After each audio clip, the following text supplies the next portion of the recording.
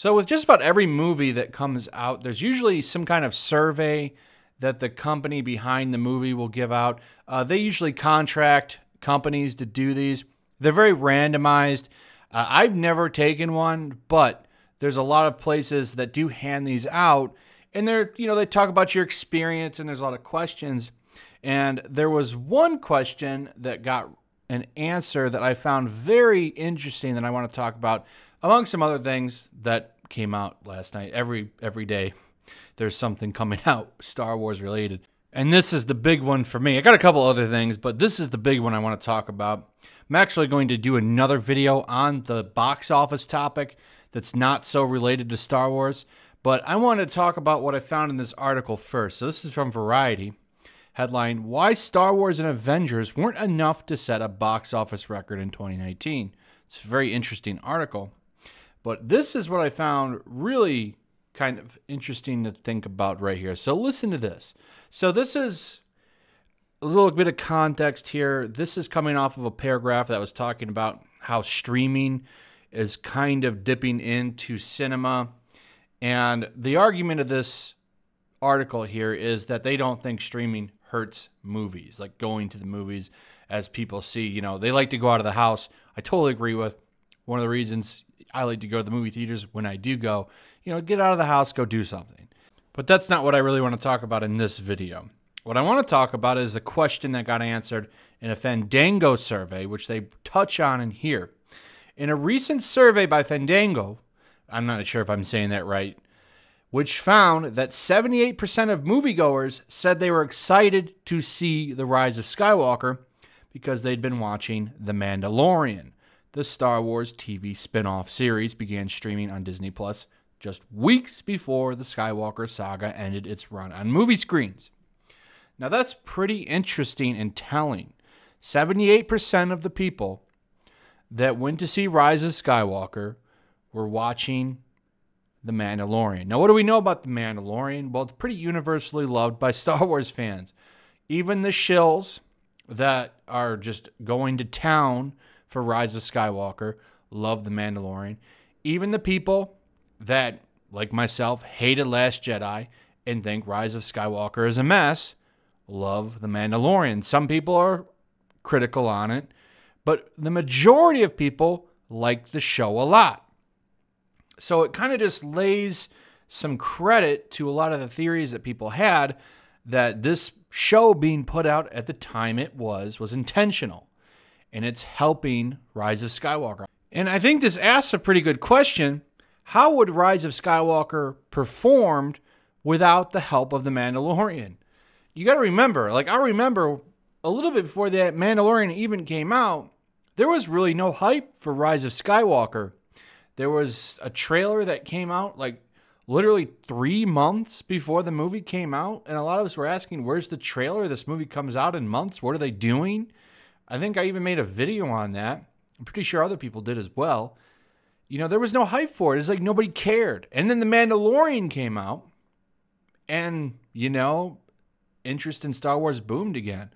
So I wonder, you know, how much how much did The Mandalorian help Rise of Skywalker ticket sales? There's no way to really answer this question because the fact is the show came out, but I wonder, you know, how would this movie have performed without The Mandalorian? The Mandalorian is a massive success.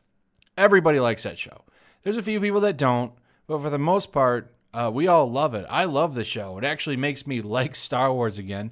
And there was other things that helped. Rise uh, or uh, Jedi Fallen Order definitely was a great game. I also played Vader Immortal, which is a VR only game on Oculus, and I really really loved that game. If you have access to any kind of an Oculus uh, Oculus Rift VR headset, I highly recommend playing that game.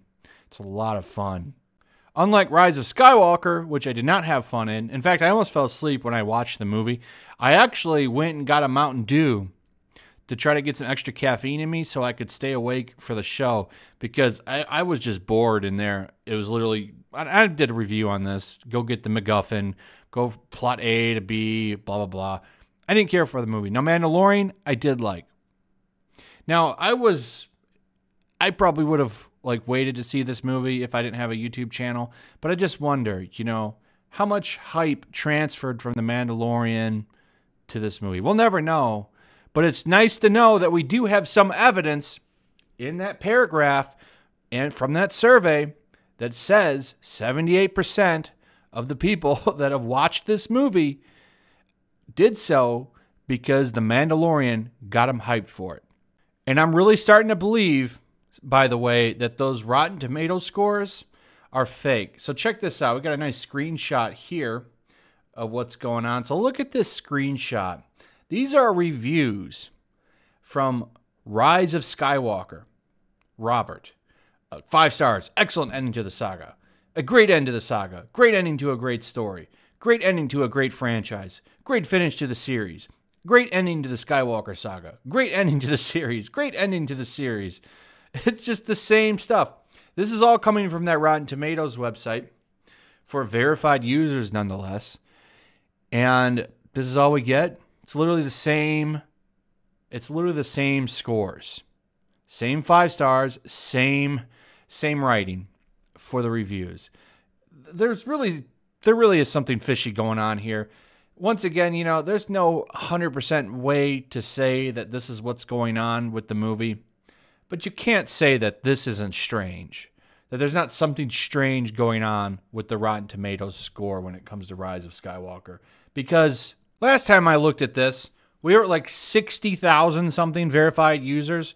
Now it's at 71, pushing close to 72 and it's still sitting at 86%. It's like they locked the score.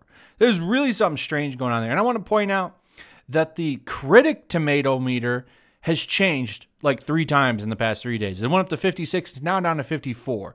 And you only have 436. But yet this audience score doesn't change.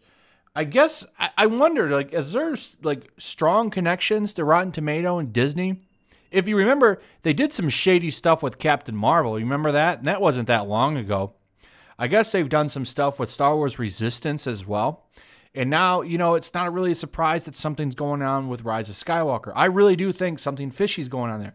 But like I said, I can't prove it. There's no way to really see if this is true without some kind of insider from Rotten Tomatoes coming out and saying so. So it's just, it's really interesting to watch and talk about nonetheless. By the way, didn't I just talk about this yesterday? I said Disney made a mistake even responding to the Rose Tico outrage. Well, here's a quick update for you. Uh, we've got outlets putting out articles like this. Star Wars writer makes excuses for why Rose Tico was mostly cut from Rise of Skywalker. The reduction of Kelly Marie Tran's part wasn't deliberate, but it does show Disney didn't care enough to fix it. So, like I said, you can't please these people. They're honestly just going to, whatever you say, they're going to double down and push harder on it. And don't be surprised if they do push for that uh, John Cho sequel, the Disney series that they want made so bad. I wouldn't be surprised if Disney bends the knee and announces a Rose Tico series.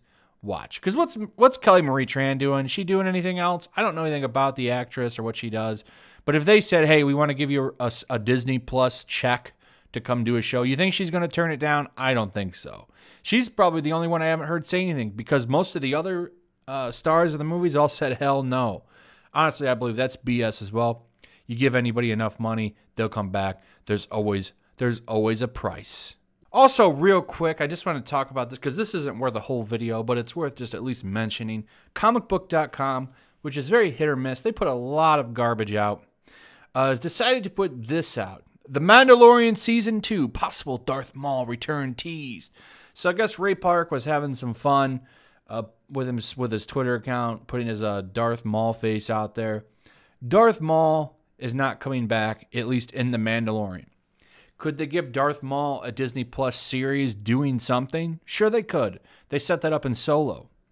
But Darth Maul doesn't make it past A New Hope. If you watch the series Rebel, Star Wars Rebels, uh, Darth Maul ends up finding Obi Wan Kenobi on Tatooine, and they have a showdown, samurai style almost, eh, like a one one hitter quitter. And Obi Wan takes his ass out, and he's buried on Tatooine. Now, a lot of people bring up the argument they brought the Emperor back. Sure, that's a fair point. That is a fair point. However, I don't see them bringing him back. Not for Mandalorian If anything, they're going to bring Boba Fett back. And they did put out an article saying expect to see original characters in Mandalorian next season. And I and I think that that's true. You could see some people, but it won't be Darth Maul. Darth Maul is done. I just think that that's a fact. I don't think they're bringing him back. If they do, they'll give him. They might give him a Disney Plus series, but it's not going to interfere with the Rebels storyline. Dave Filoni is running a lot of the TV stuff, and I just don't see him contradicting his own canon. He actually seems to care about it. So, as far as as I would expect, uh, from what I know of Dave, I don't see him contradicting what he did already in Rebels. So that's pretty much all I've got to say about it. That's it for the video. What do you guys think about the whole Mandalorian helping Rise of Skywalker thing? I'd like to hear what you guys have to say. Uh, I do honestly believe that a lot of the success of that movie is owed to that TV show. I really do. And some some to the video game Fallen Order as well. I think both of them definitely helped hype up the franchise for the movie. And I really wonder how would that movie have done without the Mandalorian? Do you think it would have been a success as much as it has been without that TV show. I'd like to hear what you guys have to think. So leave me your comments. What do you think about all this? What do you think about the Tico stuff too? Give me your give me your responses. Also throw a like up. Remember comments and likes really help videos in the algorithm. It's called interaction points. So please consider interacting with the video. Also consider sharing the video. That's also very helpful. Make sure you're still subscribed to well. That's as well. That's still something going on. YouTube is some unsubscribing people, so double check on that. If you're new, consider subscribing to help the channel. Also, hit that notification bell. And as always, I will see you guys on the next one. Peace. Also, if you want to help support the channel, check out my Teespring store. There's a link in the description. You can find some merchandise in there that you might want to check out. Also, take a moment, make sure you're still subscribed to the channel. Uh, there's something going on right now, and they've been unsubscribing people. So just take a second and double check on that and subscribe if you're new.